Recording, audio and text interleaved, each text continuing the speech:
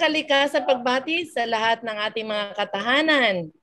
Andito ulit tayo sa ating programang Laudato Si, Mi Signore on Care for Common Home dito sa Faith Watch ng Areopagus Communications at CBCP Media Office. Welcome back sa ating episode, no? 500 years of Christianity. Ang historic places natin like Kumunhon, ano na, kumusta na ito? Ito po si Ate Lou Arsenio ng Archdiocese of Manila Ministry of Ecology. At kasama po natin ang ating mga uh, mga panauhin na mismo nandun sa grounds. So let's welcome uh, Carl, pakilala uli at uh, let's um, meet our viewers Carl? Magandang umaga po sa ating lahat. Magandang umaga, uh, Ma'am Lou. Um, ako po si Carl Bordeos, um, uh, isang curator ng Samar Archaeological Museum dito sa Christ the King College sa Calbayog City, Samar. And currently umuupong Secretary ng National Committee on Museums ng National Commission for Culture and the Arts. Ayan. So welcome, Carl. Uh, at uh, ito isang young advocate natin, no? Young advocate. Okay? So, Carmi?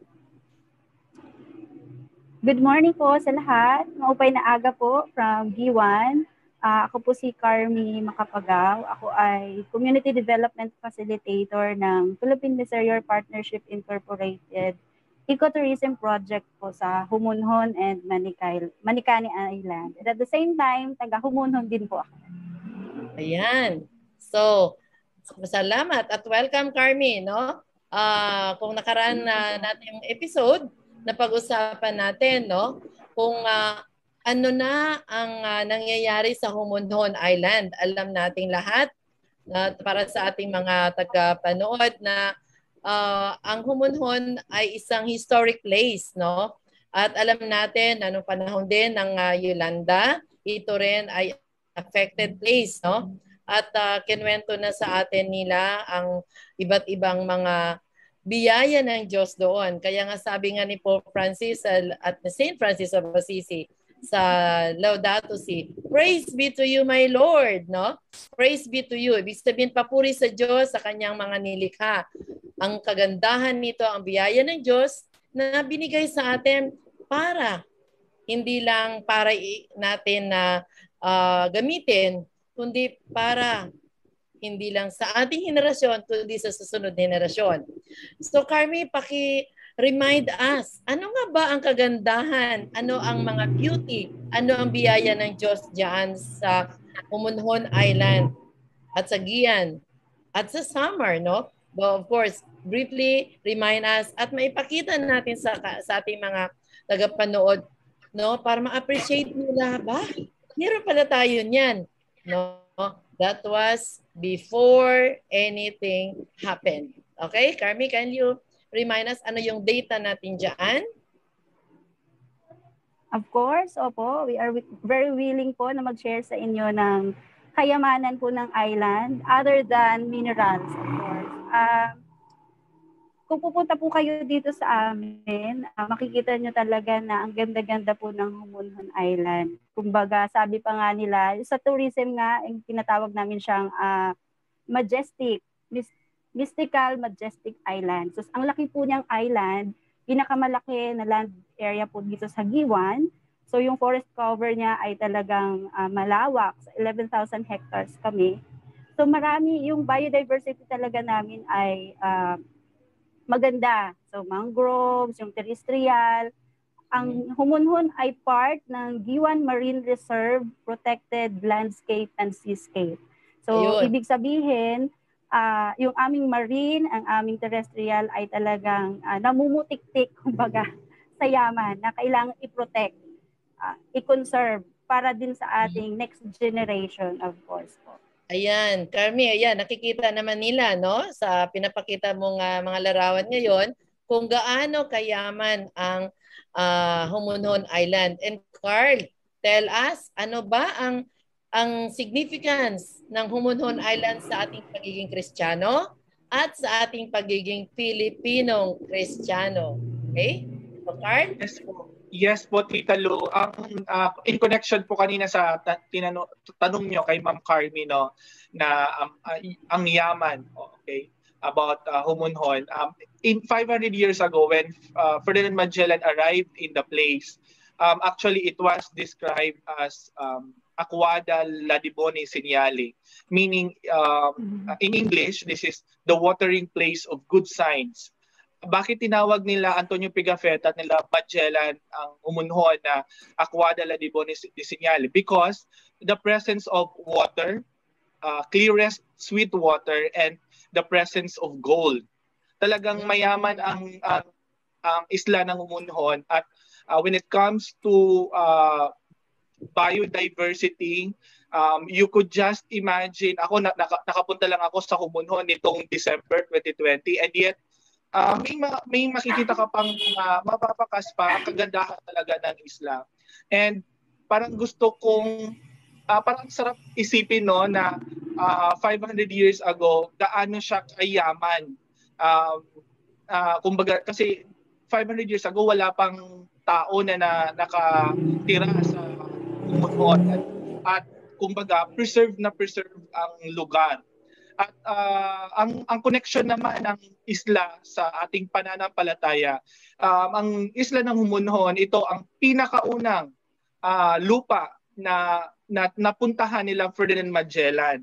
Um, kumbaga, uh, they stayed here for eight days, walong araw, at may dalawang linggo na na nag-stay sila Ferdinand Magellan dito, uh, two Sundays. Kaya we are right now we are promoting the place as the site of the first masses, the unrecorded, unchronicled, non-chronicled uh, first masses in the Philippines. Um, when they arrived in the island, uh, it was on March 17, 15, 21. It was Sunday. So, and then the following Sunday, um, which is March 24, 1521, it was a Palm Sunday. At kasama nila Ferdinand Magellan, uh, ang isang pare ng pangalan si uh, Pedro de Valderrama.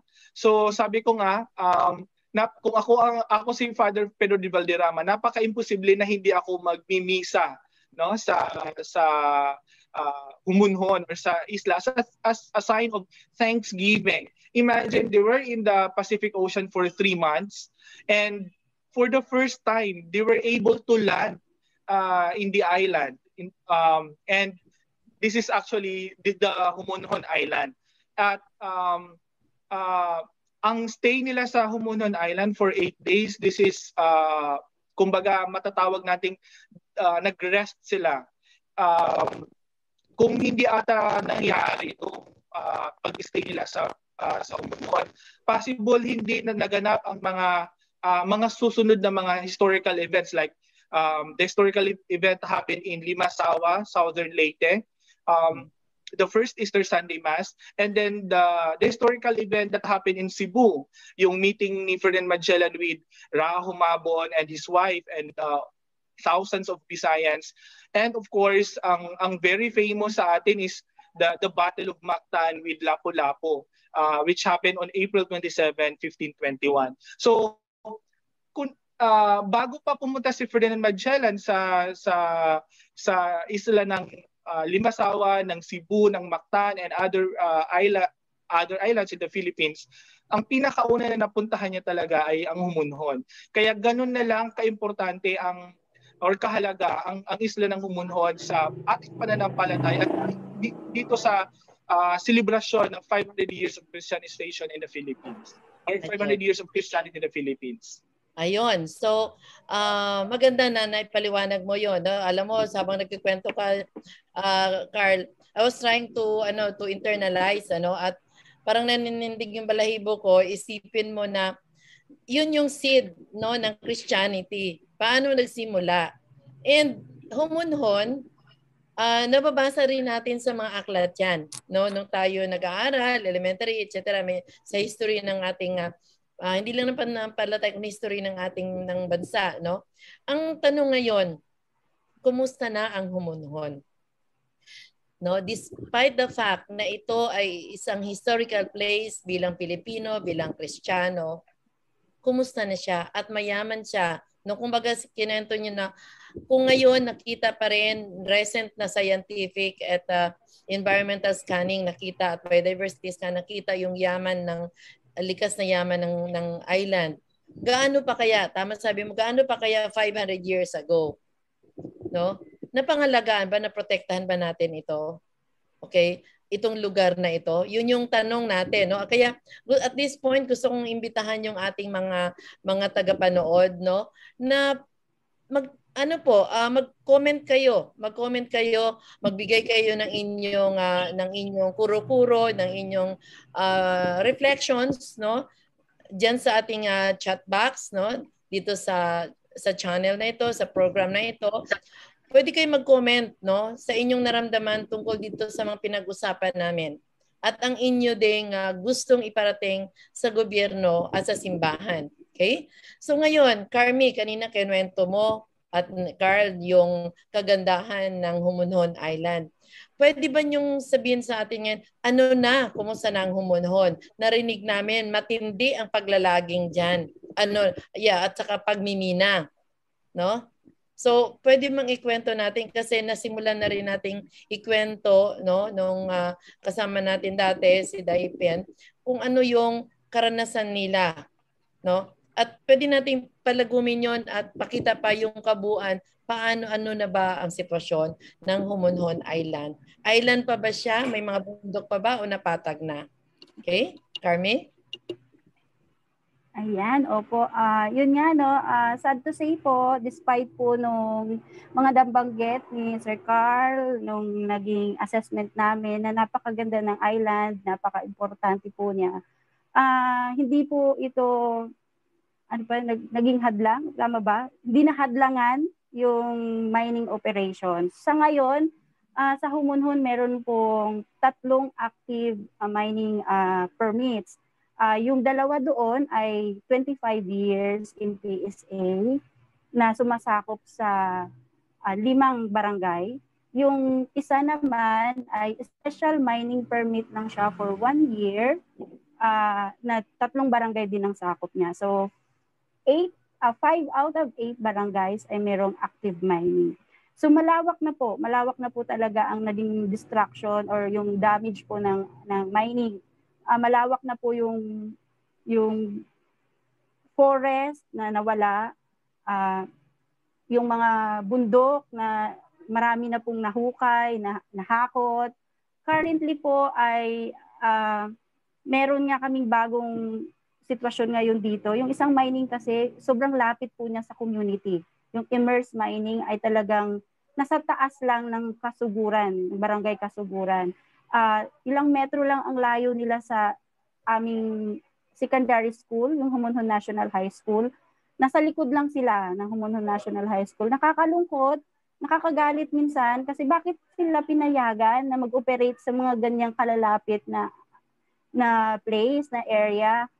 Considering na island po kami, syempre yung aming water ay dyan namin kinukuha sa bundok. So definitely po ang laki ng impact po nun sa aming water source.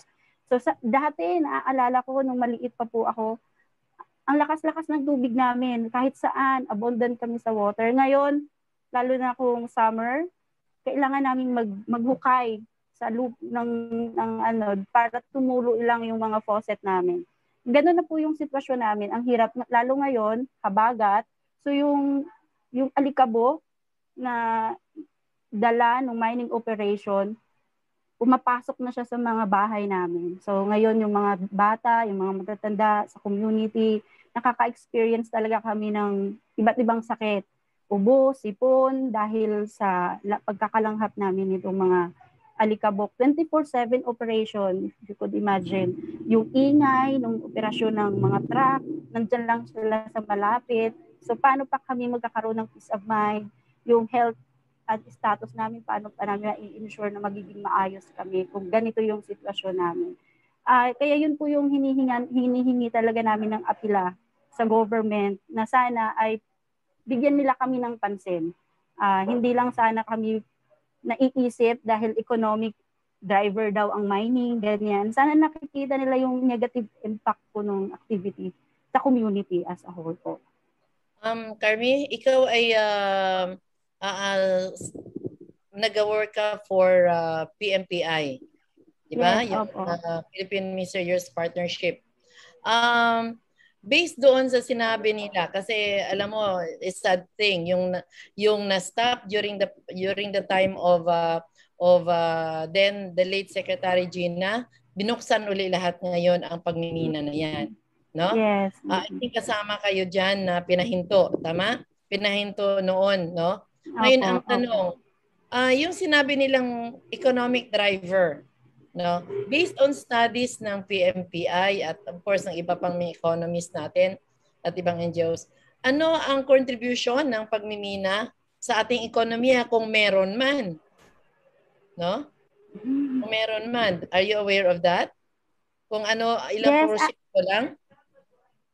Yes Oo, actually yun ang nakaka yun ang masakit kasi yun ang pang ano nila eh, pang inganyo nila eh. Sinasabi nila na malaki ang tulong ng mining sa ekonomiya.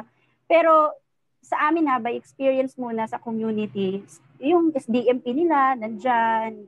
anong SDMP Minimal ano lang yun. Yung social development, ah yung binibigay nila sa community, contribution nila sa Okay. community. Sobrang liit men, noon kontra, kun, kumpara po sa epekto po na nangyayari sa sa community.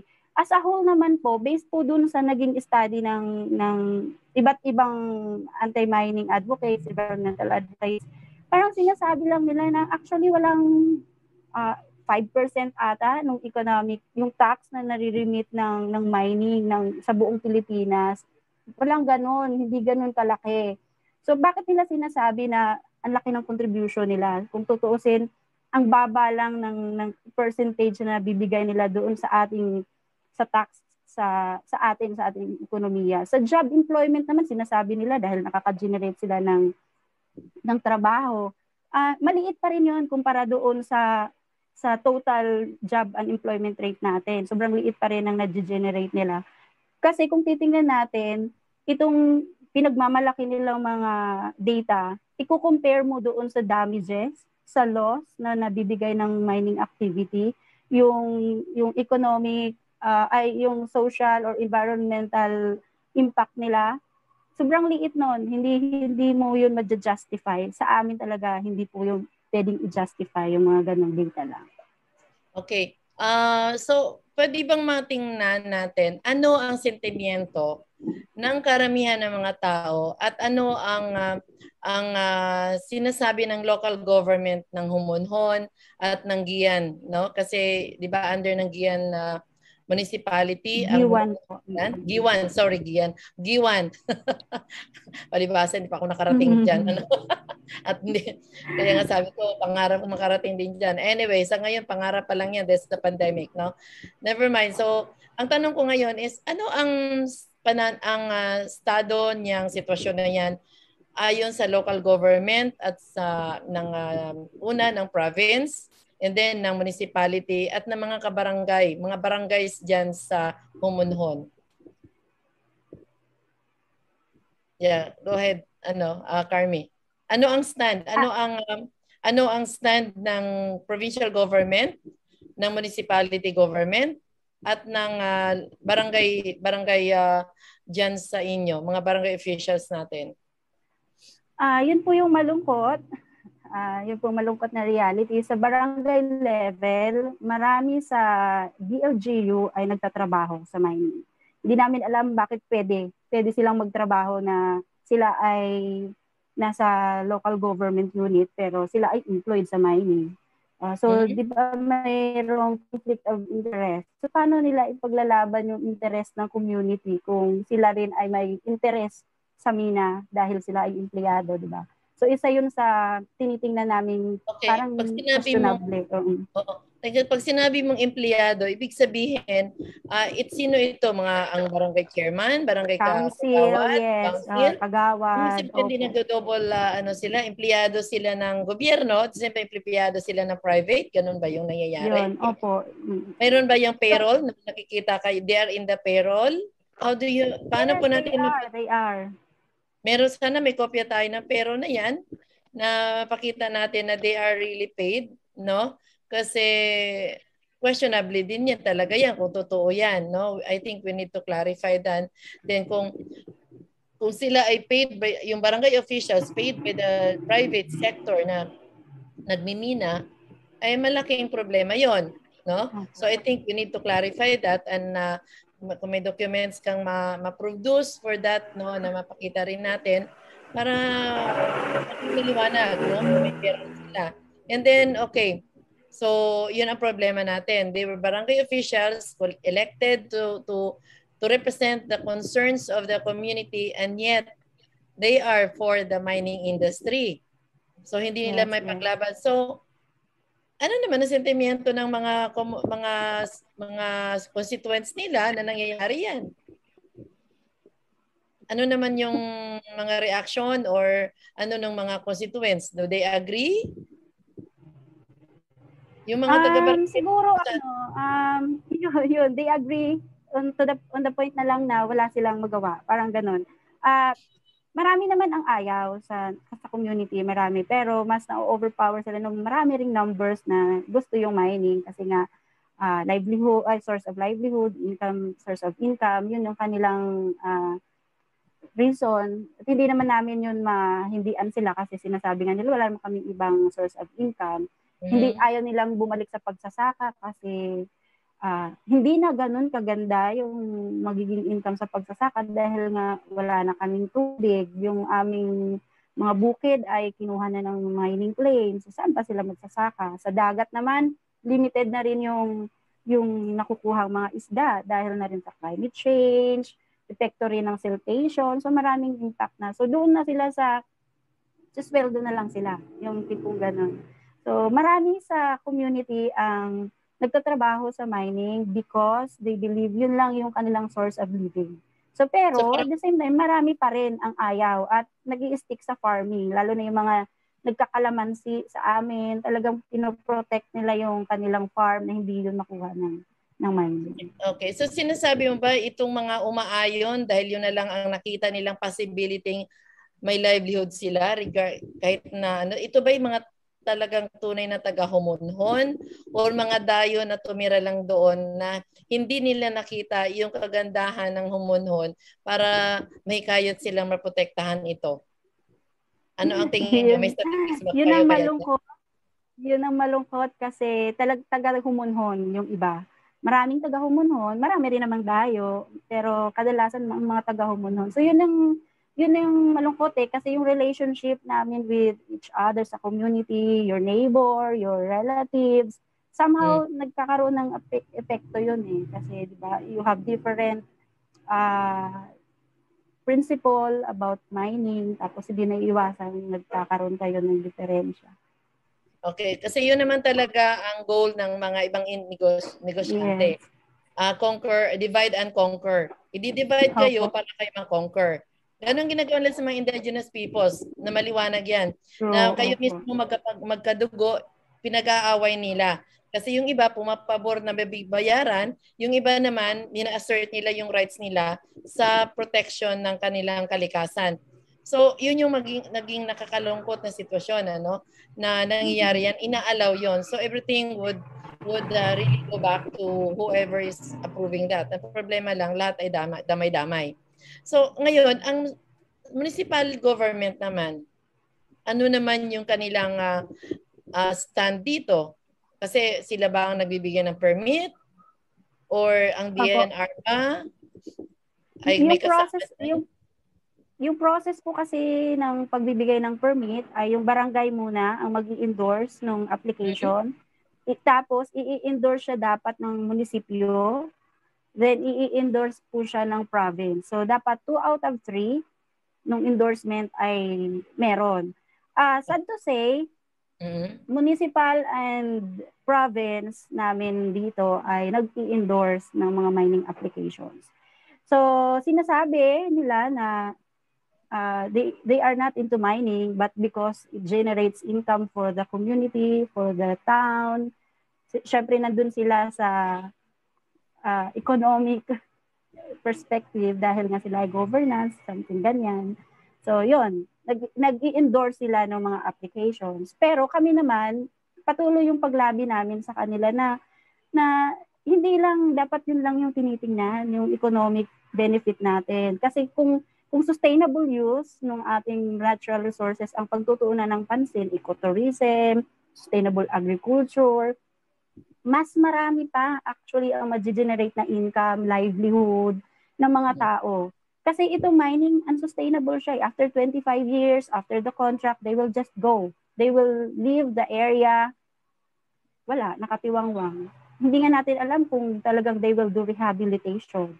Parang laging question mark yung rehabilitation or or marirehabilitate pa ba talaga yan? Hanggang saang extent ang kaya lang ma-rehabilitate? Diba? Parang ganun. Sad to say, yung aming province, yung aming, ang aming munisipyo ay itong mga existing mining permit ay na-endorso nila to. So we believe na kung kung anti-mining sila, kung talagang nakikita nila na hindi dapat minimina yung humunhon, why would they endorse a mining application? Okay, so thank you, uh, Carmi. So Carl, after hearing yung lahat ng sinabi ni Carmi, no? At saka nakita mo rin, no? Kasi nakapunta ka rin sa lugar. Ano yung iyong reflection? Ano yung iyong uh, uh, advocacy dapat na palaganapin dyan, no? Sa um, sitwasyon na yan. Yes, okay? Uh, yes po. Um, actually, ang, ang naging uh, una, ang naging ano talaga natin na bakit naka-sentro tayo sa Humunhon. It's because kung titingnan natin no sa sa celebration ng 500 years of Christianity in the Philippines, um tanyag na kilala na ang Cebu at ang Limasawa. So nabig, nabigyan ng atensyon um, even national government or even by the church ang ang Limasawa at ang Cebu. But unfortunately for for Sama or for Humunon Island, hindi ganon um, ay hindi equal yung yung highlight highlight na naibigay. That, that's why we are uh, uh, giving focus or uh, more attention to to Humunhon when it comes to the historical uh, significance of the place at ang kanyang im- importansya no to uh, the Catholic faith also. And uh, when it comes to the uh, environmental preservation, naka, napunta ako last December. Um, uh, yung isa sa mga na, na-reflect ko na parang uh, parang kawawa talaga ang ang ang isla ng Humunhon. Bakit ko nasabi? This is from the perspective ng outsider, ng, ng hindi taga Humunhon. Um, on the, on my first day, uh, nung pagdating na pagdating ko, sinama ko ni Father Christian Ofilan uh, to another barangay when he celebrated um, uh, si Nakita ko yung uh, na, nakita ko yung yung sitwasyon talaga ng minimina na area. Nakakalungkot isipin na yung may mga kalbong ano talaga, mga uh, mga bukid no at na, um, ang aking talagang reflection is talagang kailangan nating um, hindi lang historical, hindi lang about history, uh, but it's more of also the preservation of the environment, the ecology. Most especially that Pope Francis in his uh, Laudato Si encyclical in 2015, he he is calling all of us, hindi lang ng hindi lang mga Katoliko but all of us na uh, to really take good care of our environment, to really take good care of our common home. At um, kung hindi kasi natin papangalagaan ang, ang uh, kalikasan, ang mangyayari is babalik ito sa atin. At uh, ito na nga may mga may mga uh, just recently itong uh, may mga alikabok na um, yung mga puting t-shirt, uh, even yung mga pet dogs na uh, yung kulay. Puti siya dati, ngayon parang brown na, no? So mga ganun na na mga sitwasyon. At uh, kumbaga we are facing also the the pandemic na um, na kailangan talaga ng ng atensyon ng, ng government interventions. But uh, unfortunately ang place nga talaga ang, humunon ay Minimina and uh, I think we really have to uh, to do more uh, actions uh, para bigyan ng atensyon, ma-highlight ang umunhon at uh, once ma-highlight ang umunhon, lalabas at lalabas ang ang issue ng ng pagmimina. Actually, when I was there in the island, hindi lang hindi lang mining ang nakita kong problema.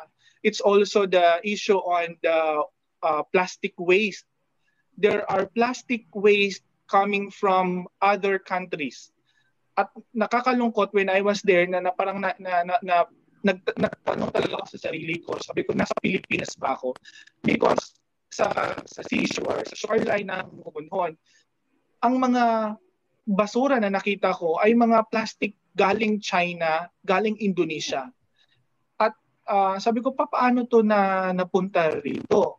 So the, the plastic waste are uh, uh, binabagsak dyan sa may uh, Pacific Ocean. At of course, um, napapadpa dito sa mga isla. Hindi lang sa isla ng Monon and what I've heard from the people um, also from uh, dyan sa isla ng uh, uh, yung nearby island uh, Mangkarmi so yun actually uh, hindi lang uh, mining hindi lang uh, uh, pati ang waste no? At ang isa sa mga uh, great resources ng Humunhon is water. Kanina nabanggit ni Ma'am Carmi yung, yung problema nila sa tubig especially ngayon na 'di ba yung just ano yung nag-summer tayo tapos naguhukay ang mga tao just to get water.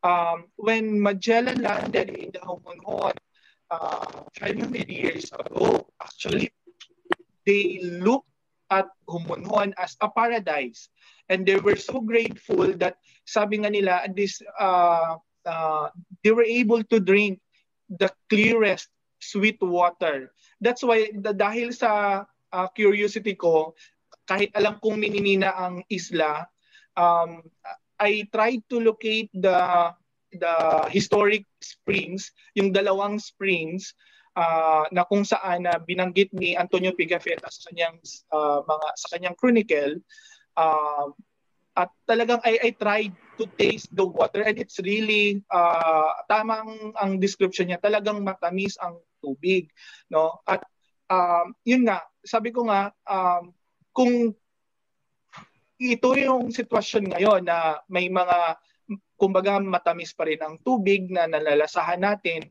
sa humunho. Na may mga tao na may walong barangays how much more 500 years ago when when the place was uninhabited?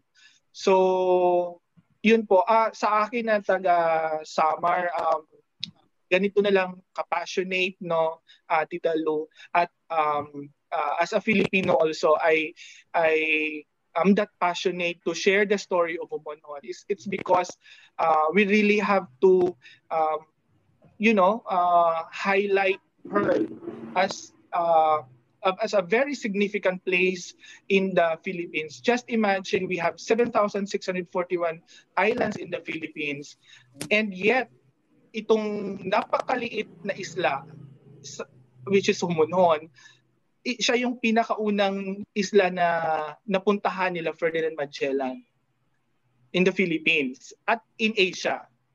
So, yun po.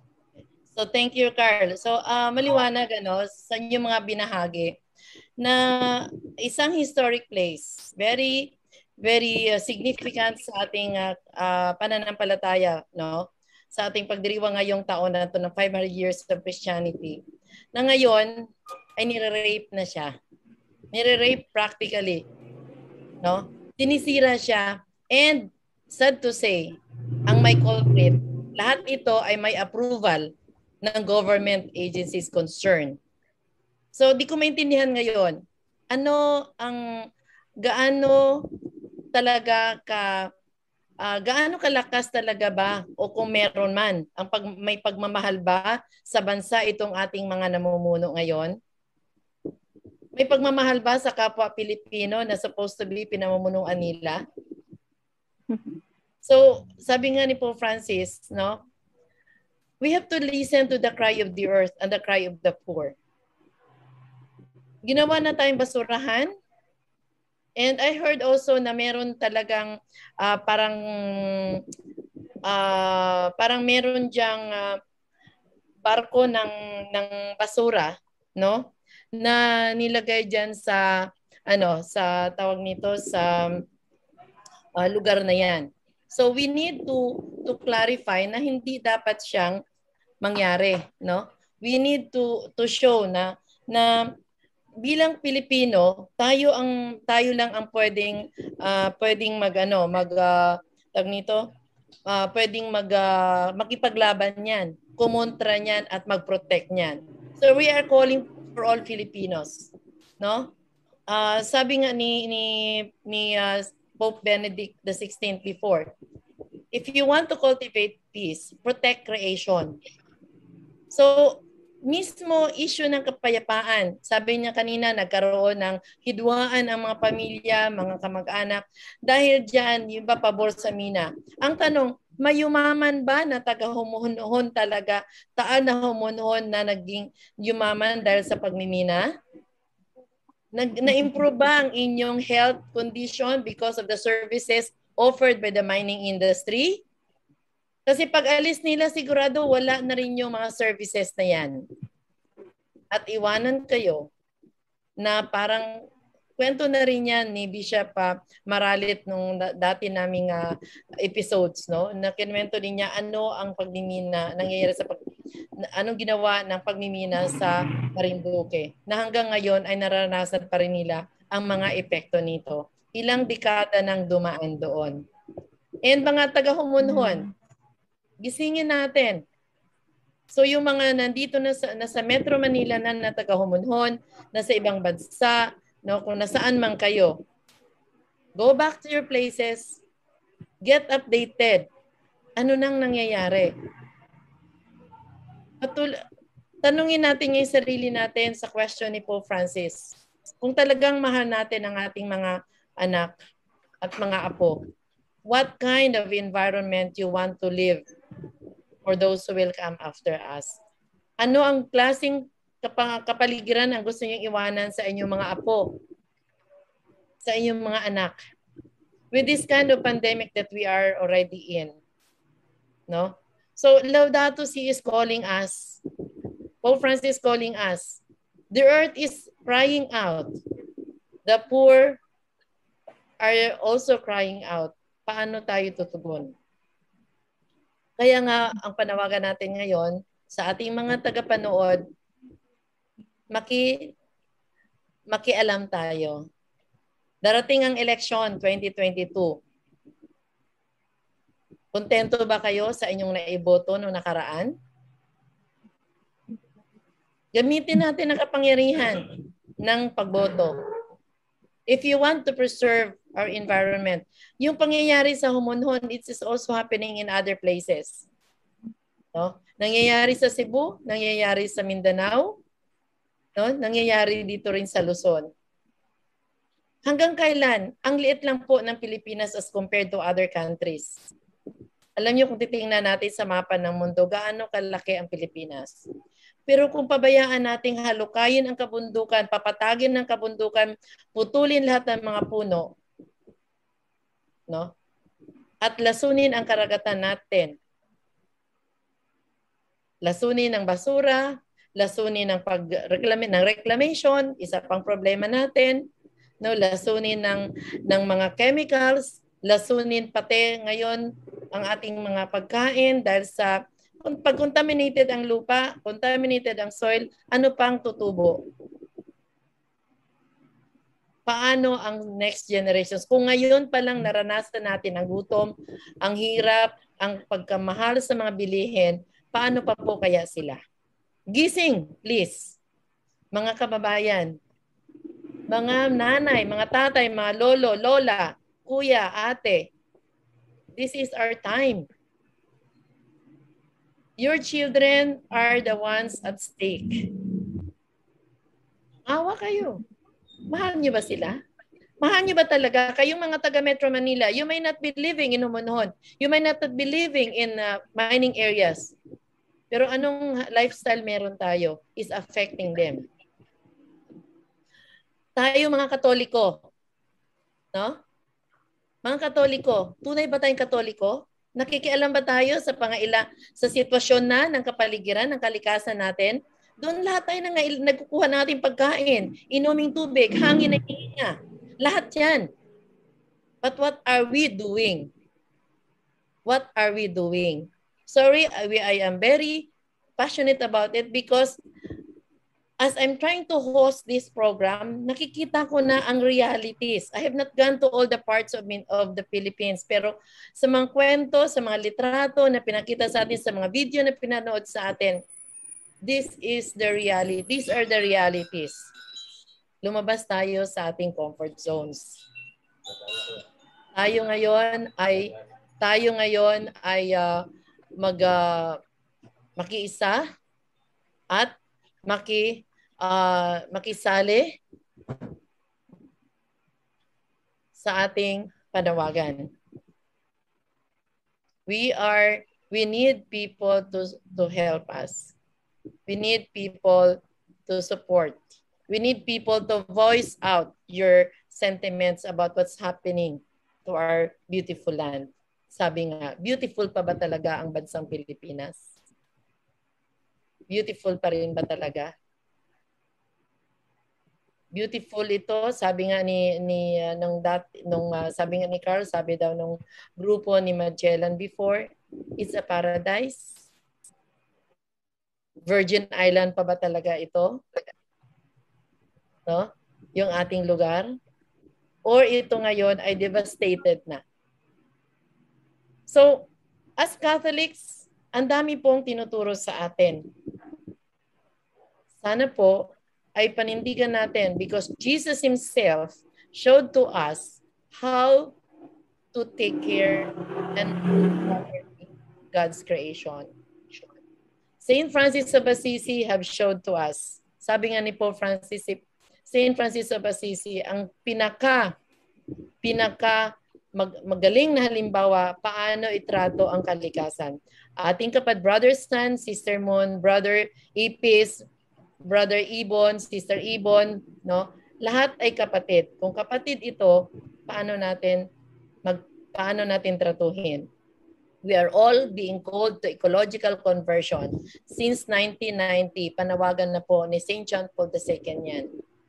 Magbalik loob sana tayo, magbalik sana tayo sa ating tamang uh, pakikipag-ugnayan sa sangnilikha. Kasi kung may may uh, may respeto tayo sa sang nilikha. May respeto din tayo sa Diyos. Kung wala tayong respeto sa kanyang nilikha, sigurado yung pagmimina na yan, paglalaging na yan, pagtatapon ng basura, pakita po yan na wala tayong respeto at pagmamahal sa tagapaglikha. Tandaan po natin yon. Kaya maraming salamat Carl, maraming salamat Carme, maraming salamat sa inyong pagpakita sa atin kung ano ang tunay na kalagayan dyan. At sana napukaw natin ang ating mga tagapanood. Kaya gusto nating pakinggan sila. Ano ang kanilang reactions, reflections, ano yung kanilang panawagan. At ang panawagan natin, stop mining. No more mining. Tama ba ako? Stop yes, mining. Opo. Yes, tama. Hindi totoong sustainable yan. Hindi yan responsible mining. Hindi yan economic driver. But ito ay economic disaster in an environmental disaster. Please lang po. So maraming salamat uh, Carmi, Carl sa inyong uh, pag-share at sana nagising nga po natin ang lahat at tayo naman ay patuloy sa ating panawagan. Laudato si mi Signore, let us take care of our common home because we all live in this planet. There's no more, no other planet that we can live. Ito lang po. Maraming salamat at tinikayatin natin ang lahat nating tagapanood.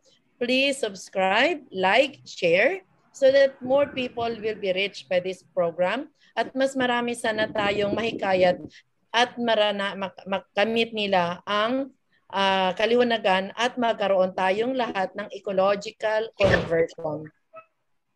Ito po si Ate Lu Arsenio, ang inyong host sa uh, Laudato Si and Caring for Our Common Home ng Faith Watch uh, channel ng Areopagos Communications and CBCP Media Office. Maraming salamat and please uh, join us in our advocacy. God bless all and uh, makakalikas ng pagbati lah- sa lahat. Laudato Si Mi Signore.